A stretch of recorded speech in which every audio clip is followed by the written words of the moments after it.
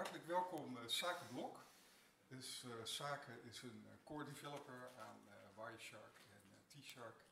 En hij is ook relatietherapeut voor computersystemen. En ik denk dat ja, Wireshark en T-Shark heel handig is. Zeker. Een goed instrument. Ja. Dus een hartelijk, hartelijk warm applaus voor Zaken. Dankjewel. Ja, nou, uh, welkom. Dankjewel dat jullie er allemaal zijn. Wie gebruikt er geen Wireshark? Toch een paar. Nou, hopelijk gaat dit jullie misschien motiveren om het wel te gaan gebruiken. Um, ja, vandaag gaat het over... Oh, uh, are there any English preferred speaker uh, listeners in the room? No? Mooi, gaan we gewoon door in het Nederlands. Um, ja, vandaag gaan we het hebben over TLS-decryptie. Waarom het wel en niet kan werken. Dus er zit een stukje TLS-theorie in. En een stukje over hoe de handshakes eruit zien en waarom bepaalde informatie je mogelijkheid geeft om decryptie te doen. En dat gaan we ook, als ik tijd over heb, of tijd genoeg heb, in een demo doen. Dus uh, fasten your seatbelts. Um, even een klein beetje om, jullie te leren kennen. Ik, snap dat jullie allemaal Wireshark gebruiken, top. Um, gebruik je ook devices in jullie netwerken waar TLS-decryptie op gedaan wordt om IDS te doen of uh, data, data loss protection en dat soort dingen? Paar mensen? Okay. Nou, niet dat je weet. Ja, als je ze niet beheert, dan kan het best zijn dat het gebruikt wordt, maar dat je het niet weet. Klopt. En um, heb je het zelf al eens geprobeerd, TLS-encryptie in Wireshark? Oké, okay. op basis van uh, de private key? Ja. ja. op basis van sessie keys? Een paar, oké. Okay. Is het gelukt allemaal? Oké, steeds minder. Ja, nou goed. Voor de mensen voor wie het niet gelukt is en, en de mensen die het nog niet geprobeerd hebben, daar is deze sessie voor. Um, ja, wie ben ik dan? Waarom sta ik hier? Ik, ik noem mezelf een relatietherapeut voor computersystemen, omdat ik problemen oplos door naar communicatie tussen de systemen te kijken. Nou, dat doe ik voor applicatie, netwerk en performance problemen. En uh, dat doe ik uh, uh, sinds 2010 voor mezelf, voor Simbit. En ik ben eigenlijk in mijn vorige werk begonnen met het gebruik van Wireshark. Het was nog Ethereal in, um, ik denk dat ik in 1999, 2000 ongeveer begonnen ben ermee. Ik kreeg een, een, eh, een, eh, het, een, um, Sniffer Pro licentie, uh, kon ik gebruiken binnen de ABN AMRO bank waar ik toen werkte. Um, maar ja, dat, dat, dat, werkte niet helemaal lekker. Toen kwam ik Ethereal tegen en dat was veel fijner, want dan kon je gewoon filteren en, en meteen meekijken met verkeer, dat, dat in uh, Sniffer Pro niet kon. Nou, het is open source, ik miste features, ik, de, de X-forwarded voorheader werd niet geparst en die had ik nodig voor bepaalde analyses. Dus ik ben eens naar de source code gaan kijken, veel, want eerst wilde ik wat vragen van, kunnen ik dat toevoegen? Nou, dat, dat uh, dan denk is open source, misschien kan ik het zelf wel. Dus de source gedownload, gekeken en nou, dat was niet zo moeilijk om dat toe te voegen. Ingediend, gezeurd, veel voeg naartoe, want ik ontwikkelde onder Linux, maar ik wilde het onder Windows gebruiken. Dus ik was afhankelijk van die automated builds. En zo ben ik uh, dingen gaan ontwikkelen. En uh, nou ja, na een aantal keer zeuren nog mijn patches toegevoegd konden worden, zeiden ze nou hier heb je write access en doe het maar lekker zelf. Dus zo ben ik core developer geworden. En um, ik ben eigenlijk geen programmeur, ik ben een netwerkman en ik kan wel een beetje programmeren en zo, eh, zodoende uh, was het een mooie combinatie. Ik heb de laatste jaren helaas niet meer zoveel ontwikkeld voor Wireshark, maar ik zit wel weer in de Wireshark Advisory Committee, waarmee we zeg maar, de toekomst van Wireshark uh, proberen veilig te stellen en een goede baan op te leiden. Dus. Um, nou ja, dit is wat ik doe. Als je daar hulp bij nodig hebt, dan mag je me uiteraard altijd benaderen. En, daar gaat het vandaag niet over. Vandaag gaat het over dat je begrijpt hoe TLS-decryptie werkt. Dat je ook in kan schatten waarom het wel en niet werkt in sommige situaties. Uh, op basis van de twee methoden die we hebben. Nou, de eerste methode die verdwijnt uh, uh, vrij rap. Dus de, je moet eigenlijk op die tweede methode concentreren. En het doel daarvan is ook, als je, als je apparaten moet beoordelen op hun vermogen om TLS-decryptie te kunnen doen, moet je wel weten of in jouw situatie het wel of niet een, een mogelijkheid is. Dus dat is ook een beetje het doel van deze presentatie. Nou, daarnaast is het natuurlijk fijn als je dat ook in Wireshark voor elkaar krijgt. En dat gaan we, gaan we doen. Ik zie allemaal berichtjes binnenkomen. Ik ga hem even eh, wegzetten. Nou, waarom uh, doen we de TLS en waarom hebben we certificaten? Nou, er zijn eigenlijk drie doelen. We willen dat onze gegevens, uh, dat die geheim blijven, zeg maar. We willen dat ze intact blijven, dat iemand ze niet kan veranderen. Maar met name willen we weten dat we praten met degene met wie we denken dat we praten. Dat je niet bij een man in de middel uitkomt. Om dat te doen heb je, kun je een aantal dingen regelen. Eh, de eerste stap die je kan doen is dat je zegt, ja, we gaan met symmetrische keys aan de gang. Waarbij je dezelfde key voor de encryptie en encryptie gebruikt. Of eigenlijk andersom, voor encryptie en daarna decryptie. Ehm, ja, die, die, die key moet je dan wel op een veilige manier uitwisselen met, met, met degene die wil communiceren. Nou, voor een site-to-site VPN bijvoorbeeld kan je, kan je via uh, weet ik een brief of een tekstmessage of een ander kanaal kan je natuurlijk de key uitwisselen. Allemaal configureren en heb je een veilige verbinding. Nou, dat gaat fantastisch. Alleen, ehm, er is een probleem. Uh, hoe ga je die keys op grote schaal uh, uit, uh, uitdelen. Als je naar een website toe gaat en je moet eerst opbellen en een mailtje krijgen met een key om dan pas naar die website toe te gaan, dat werkt natuurlijk niet.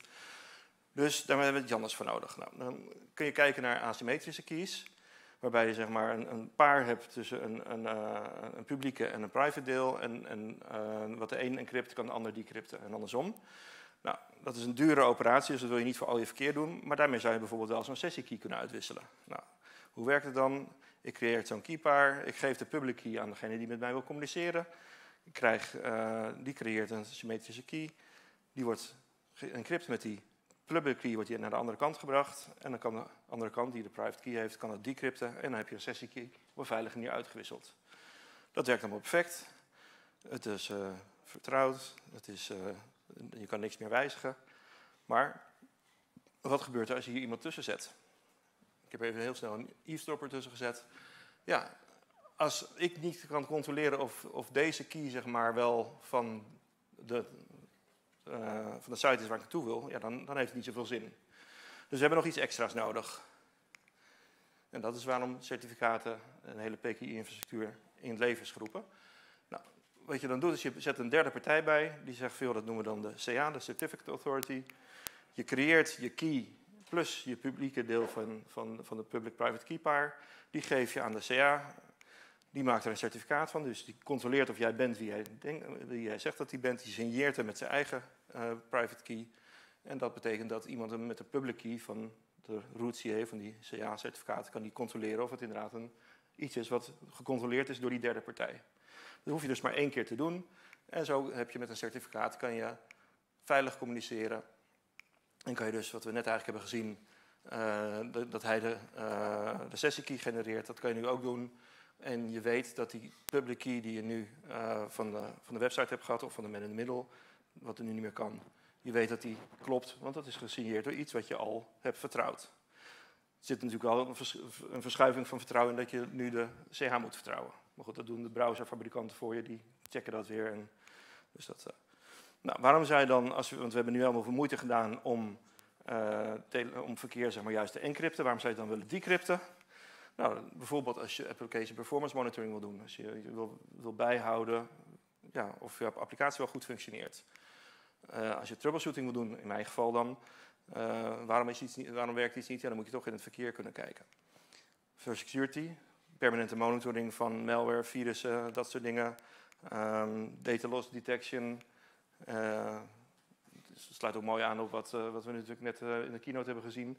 Dat ja, er gaat natuurlijk allerlei verkeer gaat jouw netwerk uit. Ja, daar wil je wel naar kunnen kijken. Dus dat is een, een van de redenen om decryptie te kunnen doen. Nou, hoe werkt het dan in de, in de oude situatie? Dus een, een situatie waarbij je een RSA key exchange hebt. Dus dat is nog niet perfect forward secrecy. Dit is nog de oude situatie.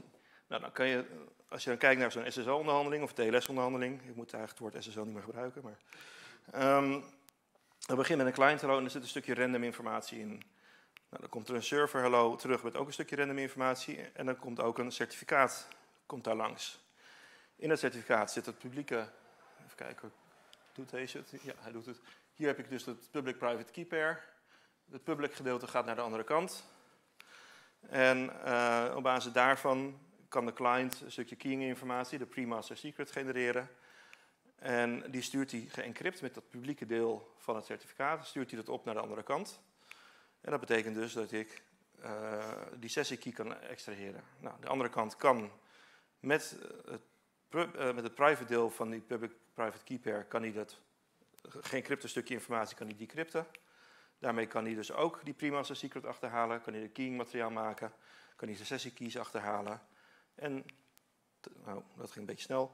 Dan kan je dus die hele datafase kan je decrypten, want je hebt het key materiaal heb je geëxtraheerd. Nou, in Wireshark, uh, of, of, of, eigenlijk in het algemeen, als je dit wilt doen, wat heb je nodig? De client random, de server random En uiteindelijk de pre-master secret die dus in de client key exchange zit. Die drie elementen samen, daarmee kan Wireshark hetzelfde doen als dat de server deed, namelijk met de private key. Sorry, die heb je ook nog nodig. Tada. Met die vier elementen kan, kan Wireshark op basis van de gecaptured pakketjes en die private key, kan hij keying materiaal maken en kan hij dus meekijken in die sessie.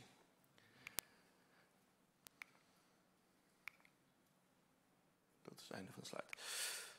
Nou, hoe ziet dat eruit? Of wat heb je dan, als je dat wil doen, wat heb je dan nodig? Je moet natuurlijk wel starten. Uh, je capture moet je starten voordat je de browser opent. Waarom? Je moet een volledige key-onderhandeling hebben.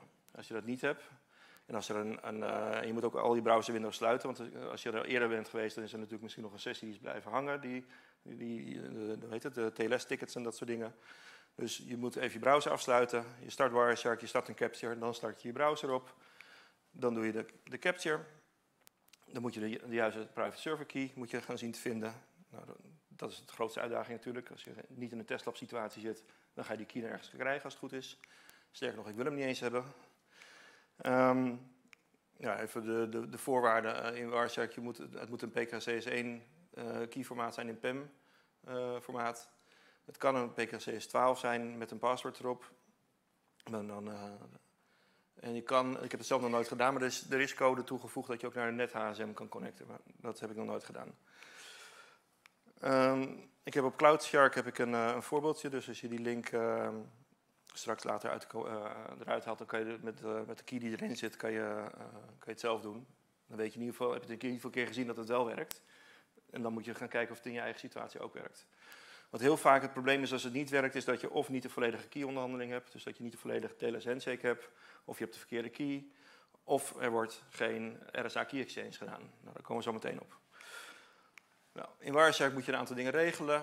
Uh, fragmentatie moet uitstaan, of sorry, moet, defragmentatie moet aanstaan. Reassembly op de TLS en TLS, uh, TCP-laag moet aanstaan. Uh, checksum validatie moet uit, op zowel IP als TCP-niveau.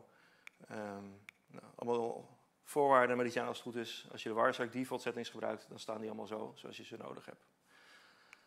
Dus tenzij je ze zelf gewijzigd hebt, kan je gewoon, ben je good to go. Um, nou, even nog een grafisch voorbeeldje. Ik maak een PCAP, ik pak de private key. Ik vul in hier de, in de TLS, ehm, in de TLS protocol preferences vul ik in waar mijn private key te vinden is. En wat je hier rechts ziet, is dat je naast TLS ook HTTP hebt. Dus, dus je ziet dat de decryptie plaatsvindt. Nou, wat is de makkelijkste manier om te checken of het werkt? Want heel vaak heb je dat de, op applicatiedataniveau er misschien in Wireshark nog wat anders misgaat. Dus dan zie je geen, geen applicatiedata en denk je, ja, maar mijn decryptie werkt niet. Nou, de beste manier om dat te controleren is om even te kijken of, even kijken, of die um, melding hier staan. Normaal heb je hier, als je geen decryptie doet, staat hier encrypted handshake message bij deze twee dingen. En als je decryptie ge, geslaagd is voor deze TLS-sessie, dan zie je hier beide finish staan. Dus dan weet je in ieder geval dat de decryptie dat het daar niet aan ligt.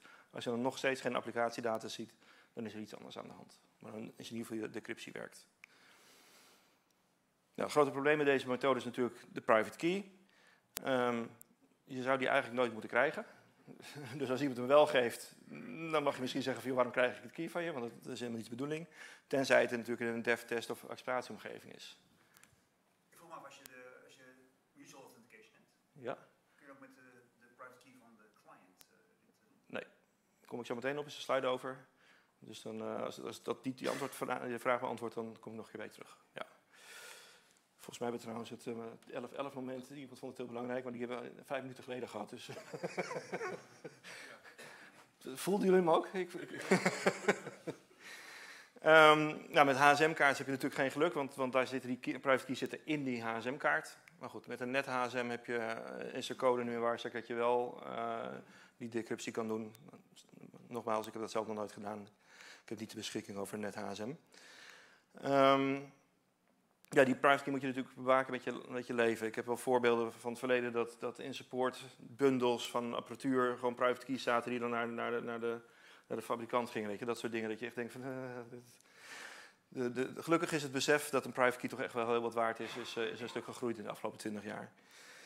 Um, ik wil hem eigenlijk liever niet op mijn laptop hebben. Ik, ik, soms doe ik nog wel eens voor klanten, uh, dan krijg ik heel tijdelijk even de key. En dan, heb ik het liefste dat ik op hun systemen dan de, de, de sessiekeys eruit haal en die dan naar mijn systeem haal. Want ik wil die key gewoon niet op mijn laptop hebben.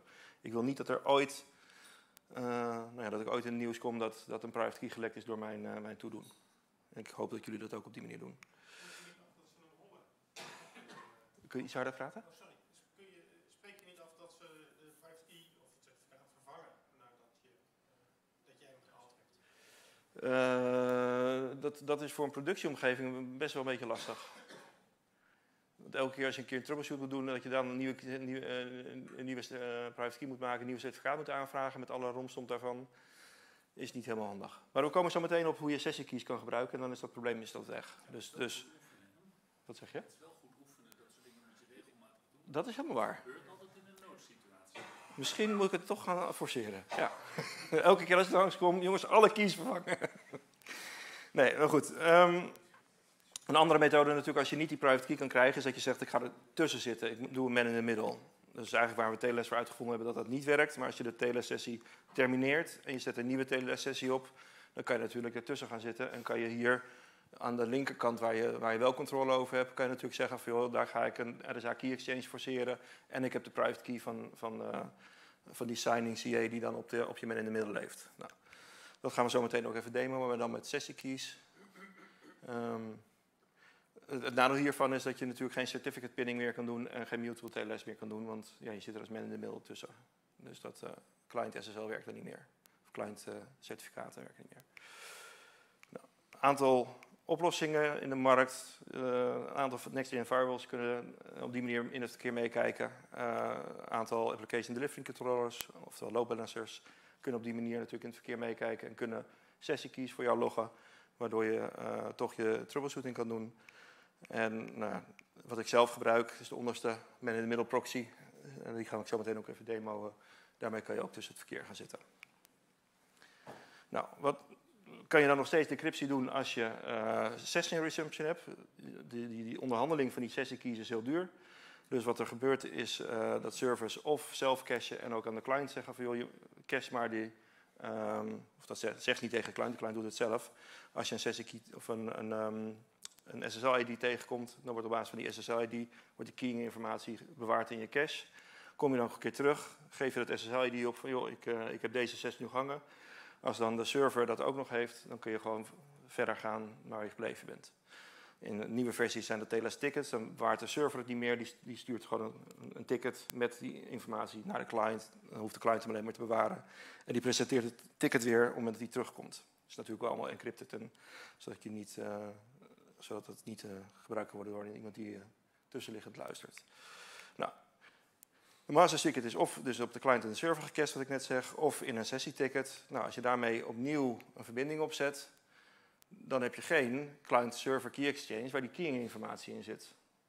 Maar dat heb je ook niet nodig, want je, je hebt de informatie in, in die gecaste informatie zitten. Dus met sessie uh, resumption werkt het wel.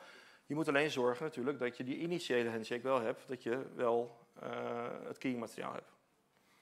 Je zei net dat je daarom dus je browser moest afsluiten. Klopt. Worden die uh, tickets dan niet bewaard in een, uh, in een permanent cache? Heb je dan de garantie dat, dit, dat die handshake opnieuw plaatsvindt? Ik heb dat nooit helemaal 100% uitgezocht. De vraag is van, van uh, als je browser afsluit, zijn die, is die gecaste informatie dan weg of blijft die bestaan? Volgens mij is die weg. Want dat is wat ik in de praktijk tegenkom. Ik heb nooit echt onderzocht of er ook een methode is dat het nog bewaard blijft. Maar volgens mij is dat gewoon weg. Als je hem, uh, ja. nou, dan de vraag over Mutual TLS. Van hoe werkt dan decryptie daar? Um, op dat moment wordt gaat de server gaat een certificaat vragen van de client. Die client die presenteert het certificaat en die stuurt een stukje informatie geencrypt met die private key, stuurt die naar de server toe. En de server kan dat dus met het public key in het certificaat kan die controleren of jij echt een beschikking hebt over het private key. En dat is jouw authenticatie, doordat jij die private key hebt. Die private key wordt dus helemaal niet gebruikt in het opzetten van die sessie keys. Dus die pre-master secret wordt nog steeds op de andere manier met, met, de, met het geencrypt met de client key, of ja, de client key in het certificaat, wordt die nog steeds naar de server gestuurd. Dus nee, op basis van de private key in je uh, client certificaat kun je geen TLS decryptie doen. heb je echt nog steeds een server key voor nodig. Helaas. En ook wel logisch, ergens. Maar, Ehm, dus, eh, maar goed, het is ook niet dat, dat, dat decryptie op basis van de public key, uh, private key van, het van de server, dat dat niet meer werkt. Dat werkt nog steeds. Oké. Nou, dan kan je in Wireshark, als je dit doet, kan je ook, wat ik net al zei, hè, van het liefst heb ik dan dat ik op een ander systeem de decryptie doe en dan de session keys exporteer. Nou, dat kan in Wireshark onder, file export de session keys. Dan gaat hij een bestandje maken met de session keys die hij heeft gevonden op basis van de decryptie die je hebt gedaan op basis van de, de private key van de server. Ja, het fileformaat eh, zit een beetje als eh, referentie in. Ehm, nou, dan kan je, als je wil, kan je een capture file voorzien. Dat is sinds Wireshark 3.0 volgens mij kan dat. De exacte versie weet ik even niet. Maar je kan session keys nu embedden in het PKPNG fileformaat. Dus je kan, eh, als je die decryptie gedaan hebt, kan je met dit commando inject secrets met editcap. Editcap wordt meegeleverd met Wireshark. Als je Wireshark installeert, dan krijg je ook een aantal command line utilities erbij. Editcap is er één van. Dan kan je editcap inject secrets doen. Even aangeven dat het TLS secrets moeten zijn. Dat is gedaan omdat we in de toekomst misschien ook andere keys kunnen injecteren. Maar op dit moment is het alleen TLS. Dan pak je de sessie keys die je net geëxporteerd hebt. Je pakt de originele file en je doet een tweede filenaam waar dan eh, die keys zijn geïmplementeerd. Betekent dat als jij die file aan iemand anders geeft en die opent hem, heb je al meteen decryptie te pakken. Dus als je iets naar een derde partij moet sturen, is dat natuurlijk super handig. Dat je niet eh, losse keys moet doen en uit moet leggen hoe ze, eh, hoe ze die decryptie kunnen doen. Dat is dan meteen al geregeld. En de- die keys zijn ook alleen maar de sessie keys. Hè. Er wordt geen private key geïnjecteerd. Dus, dus alleen de keys die van belang zijn voor de sessies in die tracefile, die zitten erin. En de andere, die, eh, die niet. Nou, nog een klein eh, trucje om uit je sessie keys alleen maar de sessie keys te halen die van belang zijn. Nou moet je maar een keer nalezen als je de, eh, de, de slides erbij pakt. Dan krijgen we perfect forward secrecy. En iemand was er, eh, ik, ik, ik, had in mijn hoofd dat het perfect forwarding secrecy is. En iemand heeft heel terecht bij het programma benoemd dat dat niet zo is. Ik weet niet wie het was, maar kudos, dankjewel. Dus ik ben mijn vocabulaire gaan aanpassen. Ehm, ja, de, de perfect forward secrecy heb je geen. eh, daar- vindt de, de exchange van die keying informatie vindt niet meer plaats door te encrypten met de, de eh, public key uit het certificaat. In plaats daarvan wordt er een Diffie-Hellman eh, algoritme toegepast om dynamisch een key te genereren. Of dynamisch een keypaar te genereren. Nou, in, die, ehm, in die onderhandeling weet de server weet iets, de client weet iets. Ze wisselen wat publieks uit. Ze doen nog een, een derde sausje eroverheen. En op basis van al die informatie kunnen ze samen alle twee dezelfde keying informatie genereren. Nou, daarmee wordt de pre-master secret gegenereerd. En ehm, met die pre-master secret kan dan eh, het keying materiaal gegenereerd worden. Nou, wat je ziet tegenwoordig, en deze site werkt volgens mij helaas niet meer, dat is wel, een mooie site. Maar wat je ziet is dat meer dan 80%, en ik denk dat het inmiddels meer dan 90% is, van alle TLS-sessies vindt plaats met Perfect Forward Secrecy. Dus met een Diffie-Hellman ephemeral onderhandeling. Als we zometeen eh, alles naar TLS 1.3 hebben, je ziet dat er nu een beweging is, het 1.2 is geaccepteerd, alles eronder zou je eigenlijk niet meer moeten gebruiken. Maar je ziet dat er een beweging is naar TLS 1.3. Uh, TLS 1.3 is echt heel anders dan TLS 1.2. En een van de belangrijkste verschillen met betrekking tot de decryptie is dat er geen RSA key exchange meer is. Dus alles gaat met perfect forward secrecy onderhandeling. Dus zometeen kunnen de methoden van eh, private key gebruiken niet meer. Die kunnen we niet meer gebruiken. Ehm, hoe zit dat dan met, eh, met die uitwisseling van, van die keying informatie? Nou, begint eigenlijk weer hetzelfde. Een client hello, en dan komt er een server hello, dan komt het certificaat. Er zit een, natuurlijk een private public key pair in. Dus uh, op dat moment, hier begint het verschil.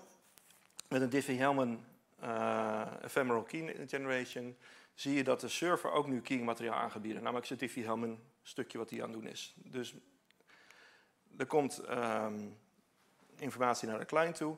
De client doet hetzelfde. Je hebt ook een public-private key pair. Ja, het is niet echt een public-private key pair, het is een Diffie-Hellman keying informatie. Die wordt uh, ook uitgewisseld. Dus op dit moment hebben de, zowel de server als de client hebben het publieke deel van die Diffie-Hellman onderhandeling gehad. Je ziet die randoms zie je verschijnen. Die heb ik ook even in het overzicht gezet.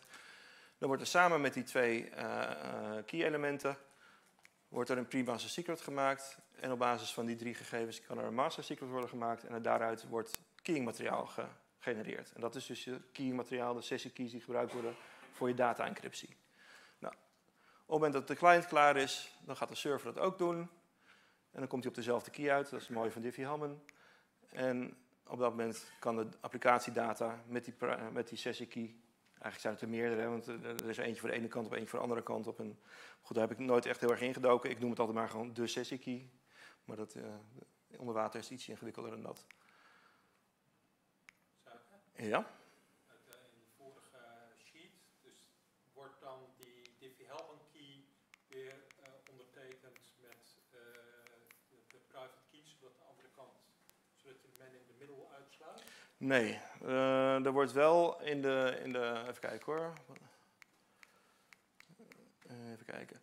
Er wordt wel, uh, volgens mij in de finished melding wordt de keymateriaal meegerekend. Zou je dat vergrootglas uh, tevoorschijn halen? Zou je dat? Die, die zakkant die je straks had? Ja. Dus je hebt hier uh, in die finished melding, daarin wordt een, eigenlijk een, hash gemaakt van de hele TLS-onderhandeling tot dan toe. En die wordt ook nog eens versleuteld. En volgens mij wordt daarin uh, dat keying materiaal gebruikt om aan te tonen dat je ook echt wel in bezit bent van die private key. Dus uh, um, ik zit even te denken of dat... Ja, ik heb er nooit ingedoken waar het precies is. Maar, maar de, de, het keying-materiaal certificaat wordt nog steeds gebruikt, maar niet meer voor de uitwisseling van de sessie keys, maar wel voor het authenticeren van de andere kant. Goeie, goeie opmerking. Ja, ik denk dat het goed is als je de vragen herhaalt. Ja, ja want ze zijn niet in de microfoon. Ja. Ga ik doen, dank je. Precies, ja. vooral voor de opname. Alles voor de opnames. ja, Mark doet zo zijn best, dat moeten we gewoon, gewoon leren. Even kijken. Uh, in TLS 1.3, en dat is een klein beetje een, uh, een, schematische weergave, want er gebeurt wel meer onder water, maar dat is niet in één slide uh, samen te vatten. Maar dat, daar ziet het proces er iets anders uit. Er wordt wat dingen uitgewisseld in een client hello. Er worden dan dingen gegenereerd aan de serverkant. Dat wordt naar de client toegestuurd. En op dat moment gaat de server al in een encrypte fase. Dus het uitwisselen van het certificaat zit al in de encrypte fase. Dus ook die ja, die, die public key kan je zelf niet meer zien. Je kan niet meer zien wat voor certificaat er gebruikt wordt. Nou, dan is er een heel proces, met name ook om, uh, omdat er zero uh, round-trip time uh, connecties kunnen worden opgezet, zit er een heel proces in om, om het keymateriaal bij elkaar te harken en te kiezen welk, welke gegeven er gebruikt moet worden. Wat je ziet is dat er in die client zit al een stukje keying materiaal voor de belangrijkste elliptic curves. Uh, als de server een andere kiest, moet, moet er weer een, een, tweede onderhandeling plaatsvinden. Maar goed, over het algemeen wordt, uh, wordt wel de juiste elliptic curve gekozen. En heb je dat key materiaal heb je dus al binnen, op basis van die client hello. Nou, een heel ander proces. Ik heb nog niet zo heel veel met TLS 1.3 analyse gedaan, dus dat dit een klein beetje hoekig overkomt, dat, dat snap ik wel. Maar de, de, belangrijkste takeaway is, het is een ander proces en er is alleen maar een TLS of een Diffie-Hellman key generation en geen uh, key exchange meer. Mijn TLS 1.3 heeft ook maar één of twee cypherspans toch, die je kan gebruiken. Het is heel erg beperkt in de encryptie-algoritme. Ja. De vraag is of, of, of de, tenminste de opmerking is, TLS heeft een, een, hele beperkte set aan, aan cijfers die je kan gebruiken. Ja, er zijn heel veel oude cijfers zijn weggegooid en alleen maar ja, de Diffie-Hellman uh, ephemeral met een aantal keying uh, encryptiemechanismen. Klopt, het is een behoorlijk beperkte set. Ja. En het zijn ook echt andere, um, andere nummers, waar je in TLS 3.0, of sorry, TLS 1.0 en 1.2 nog dezelfde nummertjes gebruikte voor je cijfers. Zie je dat alle, alle TLS 1.3 cijfers hebben ook andere nummers. Dus echt andere identifiers. Nou, hoe ziet dan het decryptierecept eruit als je geen uh, private key meer gaat gebruiken? Je hebt de, de client random uit de client hello, de server random uit de server hello. De p-master secret, ja, die heb je niet. Want die kan je niet berekenen, want die leeft alleen maar op die twee endpoints. En die wordt niet uh, uitgewisseld. Dus die moet je van één van die twee endpoints krijgen. En dat is wat we bedoelen met TLS keys. Als je die pre-master secret uh, van de endpoint krijgt, dan kan je decryptie doen. Nou, op het moment dat je die gehad hebt in, in combinatie met die, klein, met die uh, random in de client hello en de server hello, kan je het keying materiaal genereren en kan je alsnog decryptie doen. Dus het belangrijkste takeaway hier is, je hebt één van de twee endpoints nodig die jou op de hoogte gaat brengen van die keys. Zolang je dat niet hebt, dan heb je pech. Nou, gelukkig in, eh, in ehm, Firefox en Chrome en volgens mij in Edge tegenwoordig ook, omdat het natuurlijk ook onderwater Chrome is. Ehm mag ik natuurlijk niet al te hard op zeggen voor Microsoft mensen, maar ehm, dan kan je eh, een environment variabele meegeven om die keys te loggen. Dat gaan we zo meteen zien. Ehm, dat moet je natuurlijk ook weer doen voordat de browser start. Je moet die SSL keylog environment variabele moet je gaan zetten. Die geef je een filenaam op en dan worden al die keys in die file gelogd. En uh, die kan je dan weer in Wireshark uh, uh, toevoegen. Nou, ook daar heb ik een voorbeeld van op, op CloudShark. Dus kun je ook even kijken of dat werkt. Nou, nogmaals, je pakt het verkeer ergens onderweg. Je krijgt een sessie keys. De grootste kans die je hebt om die sessie keys te, on, te ontvangen is natuurlijk vanuit de client. Daar heb je meer controle over dan over de server. Tenminste, hangt er vanaf waar je werkt. Maar ik ken ook niet zoveel server software die die, die, die key zal loggen. Dat gaat wel komen waarschijnlijk, zeker als TLS 1.3 echt uh, verplicht wordt. Um, nou, je vult dat in, wederom in je TLS protocol preferences, maar nu onder de pre-master secret log file name. Dat is wel leuk. Dit, dit, stukje heb ik ooit toegevoegd en, er zit nog steeds die typo in. Dat dit haakje moet eigenlijk naar die mintekentje. Ik vind het nu wel leuk dat, dat die fout erin blijft en dat iedereen ook netjes als ze dit noemen gewoon die fout kopieert. En het is een soort uh, easter egg voor mij geworden. Maar um, ook als je dat goed toepast, dan zie je daar ook weer dat, dat onder TLS je gewoon weer gedecrypt verkeer kan zien. Nou, die logfile, dit is een beetje hoe het eruit ziet. Uh, ik heb, bovenin zie je dat ik, um, ik heb hier dus die, die logfile heb ik gezet. Dan vervolgens heb ik gezegd, start Chrome maar.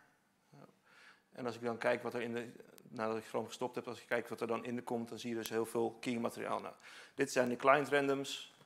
Uh, dat is de index zeg maar, waarvan je het opzoekt. En dit is dan de pre-master secret die, uh, die je daar ziet. Nou, hoe kom je dan aan die logs? Um, applicaties die NSS gebruiken of GNU TLS, die kunnen dat met, uh, met die SSL keylog file variabelen, een format variabele doen. Andere, dan kan je, een, um, als je zelf een servertje bouwt op basis van deze TLS libraries, kan je een, een callback functie erin zetten die dat doet. Curl doet het sinds 7.58, is al een tijdje oud. Die, die kan ook SSL keylogfile uh, accepteren. OpenSSL, als je daar een, met S-client een verbinding start, dan, wordt de master secret altijd al gelogd, al sinds heel lang. Nou, Java-applicaties, load balancers kunnen doen. Windows, de TLS-library nog niet, maar goed, Edge gebruikt tegenwoordig dus ook die, die andere library. Dus met Edge kom je ook uit de voeten. macOS helaas nog niet. En er zijn tegenwoordig al oplossingen om ze uit memory te, te, te stelen. Nou, moet je natuurlijk wel controle hebben over de VM of over de host. Maar daar, uh, er zijn al uh, er zijn zelfs al uh, commerciële producten die dat gebruiken. Dit heb ik zelf nog nooit gedaan, dat is meer voor het overzicht. Dat mocht het heel erg van belang zijn, dan kan je dat onderzoeken. Ik heb daar zelf nog nooit naar gekeken.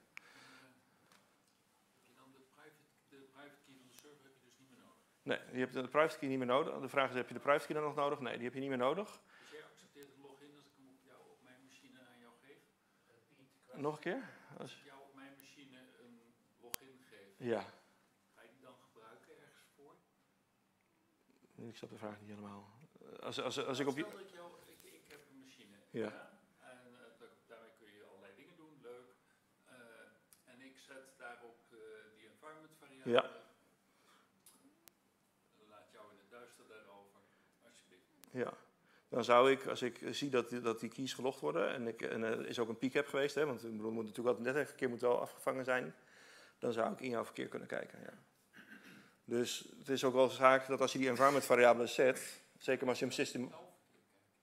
Je kan, niet in mijn, je, kan, je kan niet in mijn verkeer kijken, tenzij ik, tenzij ik naar jou connect en jij slaat het verkeer op met Wireshark en je hebt die sessie keylogging op de, op de service die ik voor jou benader dan kan je wel in mijn verkeer kijken.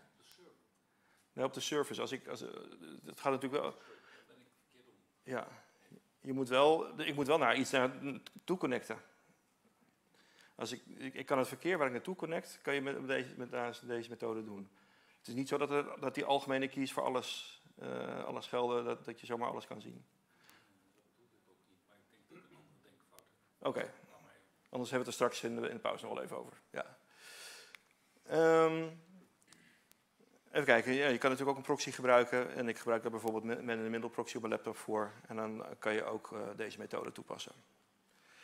Nou, even een klein voorbeeldje met curl. Eh, je ziet hier dat ik een TSP-dump start. Dan vervolgens heb ik die keylog file, heb ik, zet ik hier naar tls.keys. Ik start een curl naar mijn website. Ik stop de trace en als ik dan kijk naar wat er in die key staat, dan staat er één key in. En doe ik dan een T-Shark, dan zie je dat hij de volledige handshake doet. En kijk, hier de finished. Dus hij heeft de decryptie inderdaad gedaan. Dus even een, een, een demo in een slide, zeg maar, want dat ga ik zo meteen live doen, maar we lopen ook een klein beetje uit de tijd. Dus kijken of het zo meteen lukt om dat nog even te doen. Oh, kijk. Dat was nu al. Ehm, dan kan ik twee dingen doen. Ehm, ik kan of, eh, wat je net in een slide zag, eh, Chrome even opstarten.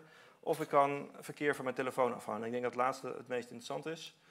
Ehm, ik heb een, even een oude telefoon gepakt waar niet allerlei andere dingen voor mij op staan. Want ik wil niet dat jullie wachtwoorden van mij zien die, eh, eh, die ik niet bedoeld heb om eh, te laten zien. Nou, wat je doet om, als je die man-in-the-middle proxy wil gaan gebruiken, je, als je die, dat ding opstart, dan creëert hij een, eh, een CA, een root CA, die als jij naar een website toe gaat, dan het certificaat van die website kopieert eigenlijk en daar een nieuw certificaat van maakt. Maar dan moet ik dus wel zorgen dat hij dat vertrouwt. Nou, dus die key die stuur ik eh, via mail naar mijn telefoon, die open ik. Vervolgens moet je me installeren. En dan zegt hij nog even waarschuwen dat je hem ook nog moet activeren in de, in de Trusted Certificate settings. Nou, dan waarschuwt hij dat je een root certificaat gaat installeren. Nou, dat is een waarschuwing die je heel serieus moet nemen als je die krijgt. Want iedereen die bij jou een root certificaat op jouw telefoon of jouw device weet te krijgen, die kan alles doen met jouw verkeer. Theoretisch. Dus dat moet je niet zomaar doen en je moet hem eigenlijk ook meteen weghalen als je ermee klaar bent. Maar goed, testtelefoon, maakt niet uit. In het, de roetcertificaat is er, er wordt gemaild en dan bij de vierde plaatje, Ja. wat heb je daar eh, op opgestart? Ehm, Ben je al bij het derde plaatje? Ja, omdat ik, dat ik hier op dubbel, dat ik die aantap in mijn telefoon, dan krijg ik een, waarschuwing van hé, hey, is een profiel gedownload. En dan, dan, dan, dan ga je naar, naar, naar het profiel toe, dat zit onder eh, system settings, maar dan word je automatisch naartoe geleid. Dus vandaar dat, dat ik die, dat tussenliggende slide even weggelaten heb. Je wordt daar naartoe geleid, dan klik je op dat profiel en dan kan je zeggen hier install. En in het, ik ben van mijn apropos af, omdat in het profiel ook al man in de middelproxy eh, staat. Ik had verwacht dat die transparant zou zijn. Dat Nou, het niet in beeld komt. eh. Nee, dat is niet transparant. Want wat je gaat doen is namelijk een root certificaat installeren. Dus ah, je gaat alleen een roetcertificaat. eh, ja, het is, niet, het, is niet het certificaat voor de website waar ik naartoe ga. Het is het root certificaat Dat je gaat voor ooit gaat die gebruikt gaat worden om die nieuwe certificaten te maken. Ja, ja. Dus daarom is het ook zo gevaarlijk. Want dat betekent ook dat ik met dat root certificaat kan ik een eigen certificaatje voor de ABN AMRO bank maken. En ja, super. Dan hebben we dat hele stuk waar we hebben begonnen, hè, die, die eh, confidentiality, integrity, en eh, die, die, die zijn we een beetje aan het wegslopen nu. Ja. Maar goed, testtelefoon, mijn eigen netwerk, dus dit is eh all is fine, zeg maar. Ehm, nou, dan start ik die, of dan export die SL keylog file en ik start een middel proxy. Ik heb hem meteen ook hier gestopt, maar dit is het punt waar we naar de demo over gaan. Ehm, ik heb hier die man in the middle proxy opgestart.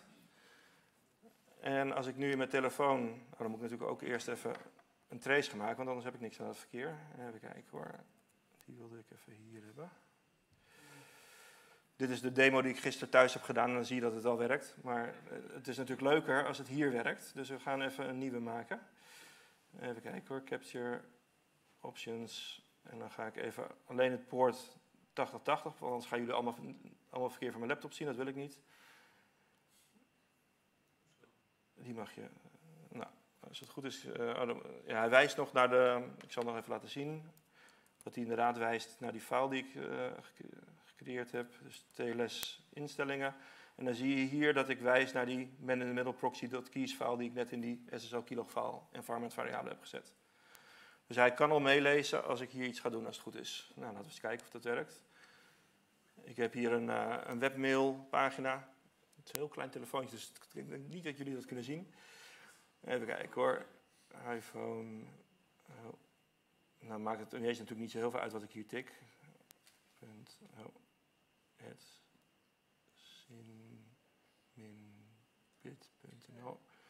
Dus een, dat is blijkbaar een heartbeat van iets op mijn telefoon wat dus die proxy gebruikt. Dus het, eh, eh,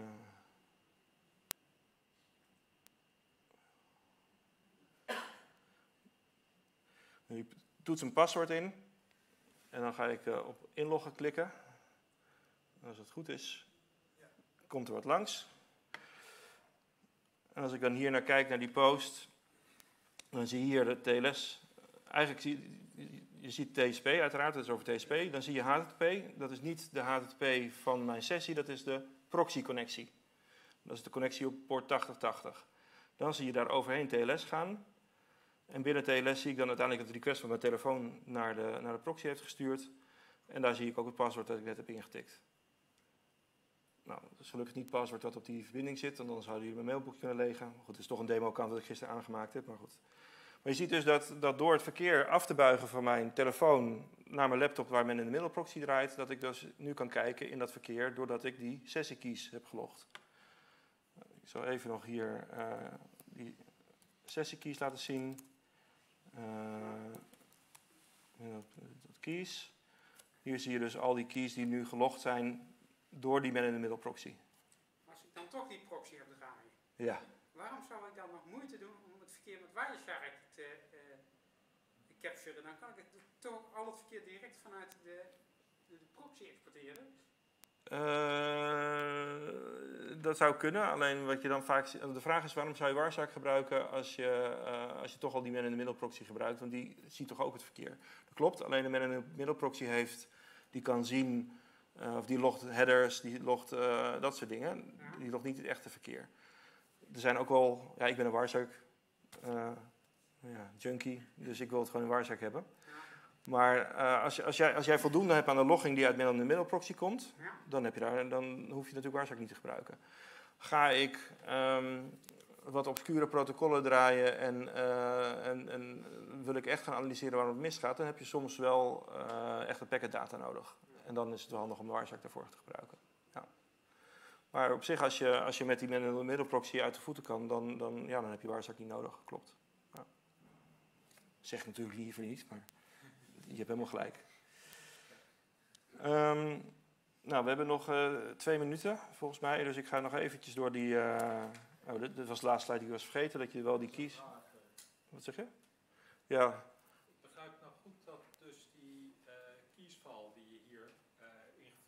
ja. uitgelezen wordt? Ja. Ja. Ik vond het al, toen, het, toen iemand, er was iemand van, net, van, van, uh, van Firefox die, van, die, die deze toevoeging deed. En ik heb hem zelf uh, toegevoegd aan Wireshark uh, voor hem. Ehm, toen vond ik inderdaad, want zijn use case was ook van, joh, dan laat ik het meelopen en dan zie ik, denk van, hé, maar gaat dat dan goed? Want, want ja, het komt natuurlijk snel langs en je moet meteen decrypten, maar dat, dat gaat eigenlijk on the fly goed. Hangt een beetje natuurlijk vanaf of je, of je IOPS op je systeem voldoende, of die voldoende snel reageert. Maar, en als je, het niet als je niet laat meelopen, dan kun je natuurlijk gewoon achteraf de file herladen en dan, dan werkt de decryptie. Maar in principe, met, uh, als je de, file naar de juiste file point, dan, dan loopt het mee. Ja. Um, ik heb natuurlijk ook op mijn telefoon, dat was ik even vergeten te zeggen, ik heb natuurlijk wel die proxy ingesteld als manual proxy, dat die naar mijn man in de middel toe gaat.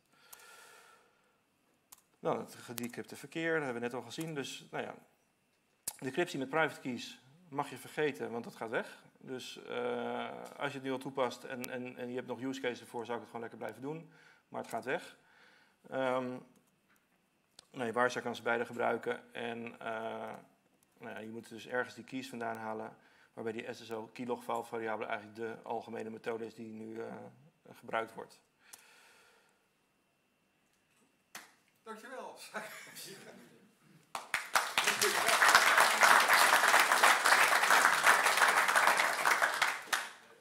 Zijn er nog vragen?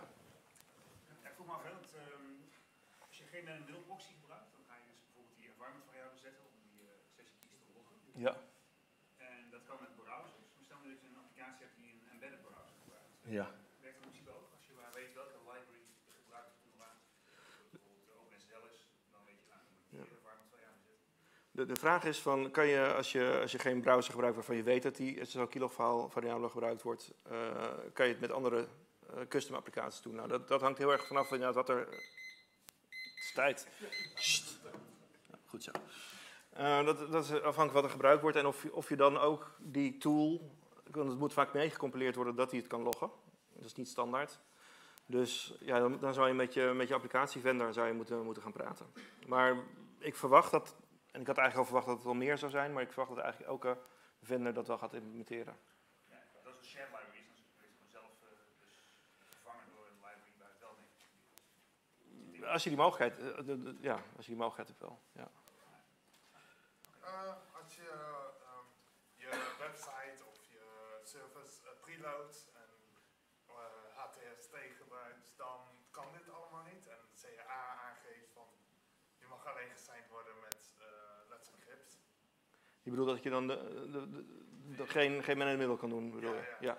Dan zou je browser gewoon zeggen van dit is niet een veilige verbinding. Ja, nee, de vraag is als je, als je je website goed inricht dat hij dat hij niet eh, accepteert dat er een man in de middel proxy tussen zit, of, of je dan nog steeds dit kan doen.